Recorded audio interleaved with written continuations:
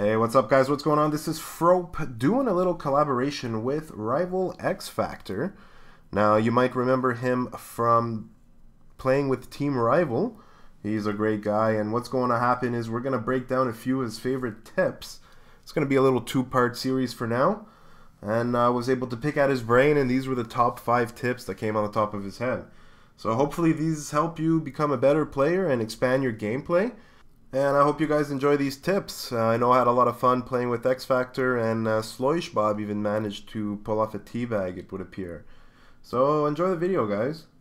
Alright, so X Factor, what's uh, one of your top five plays here to becoming a better player? One of the things is learning how to use grenades to your advantage uh, and use set grenades and bounce nades uh, in certain areas. Uh, we're over here in Bazaar between A and B, and this is an absolute clusterfuck of people.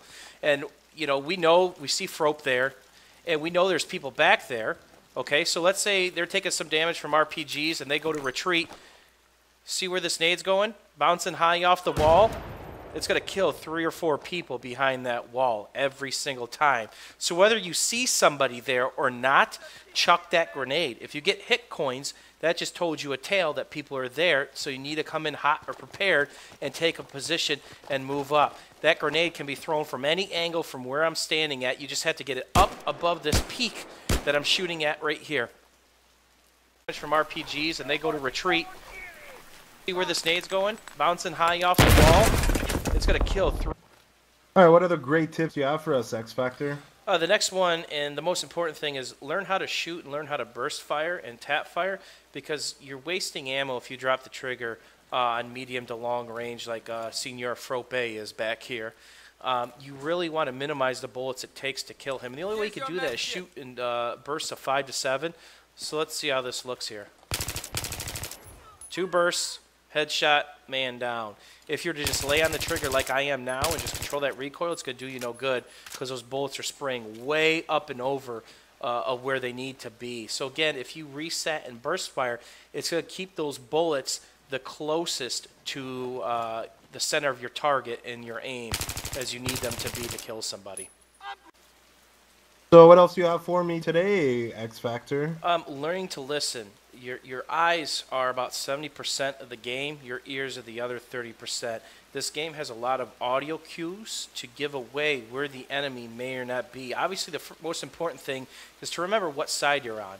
I'm Russian, so I'm listening for American accents, American words, and things of that nature. So it's not just where the gunfire is coming from, because that's an easy giveaway. What about the guy that's not shooting? What about the guy that's got to throw down a med pack or support kit or throw a grenade? So let's see what that sounds like and how that can help us.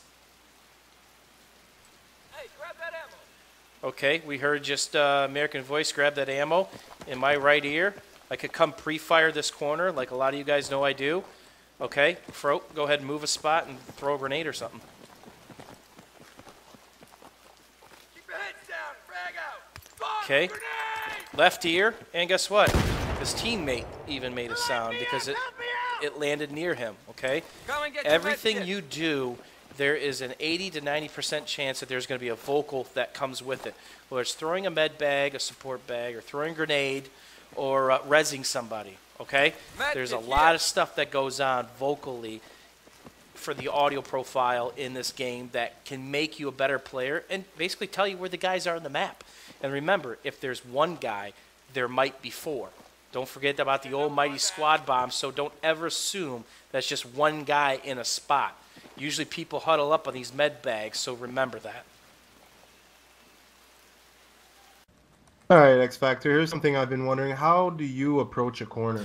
How do I approach a corner? I approach a corner whether it's this map or any map like there's somebody standing on the other side because you can't predict people. You think you might know because on the mini map it's clear, but maybe the guy was using silencer or hasn't shot yet or he's just lying still waiting for two or three more people to spawn off him. Okay, so what you don't do is run around a corner. Okay?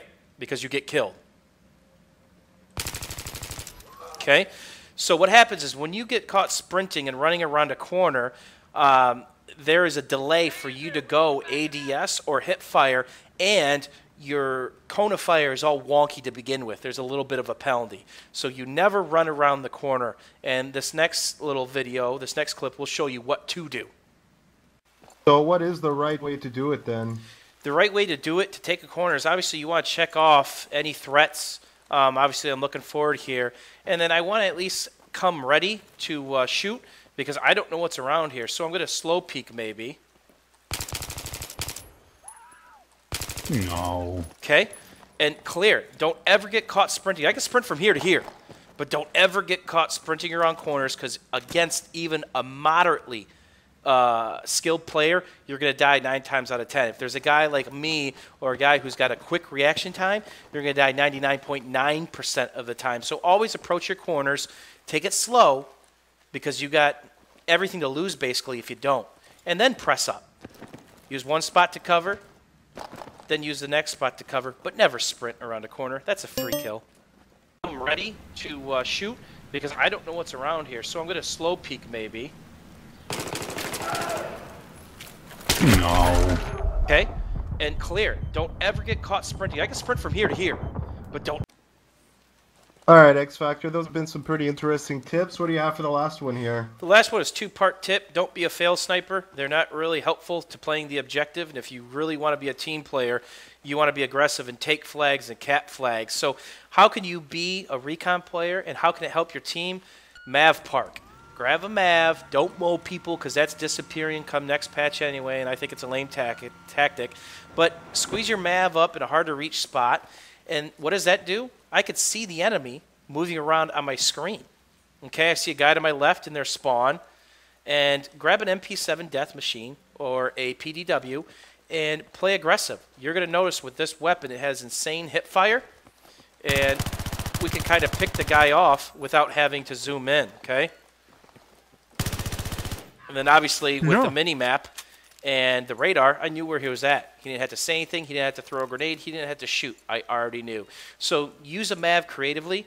Uh, Metro, Bazaar, Seine, any of the high population maps where there's points like be at Bazaar or see at Seine. Oh, and uh, again, we see these guys in the mini map. Uh, this this gun's nasty. Get the extended mag. Get the laser. You'll never use the sight, so it doesn't matter what you put on the thing, and uh, have some fun. Hopefully you guys enjoyed that quick video of some of Rival X Factor's top tips. So please check out his uh, channel. He's got definitely some great videos on all sorts of tips. Uh, there's definitely some that I've learned checking out his channel.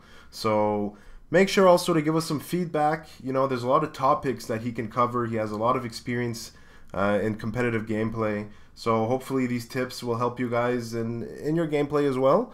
And uh, yeah, I hope you guys enjoyed the video. So it's going to be Fhrope signing out. Peace, guys.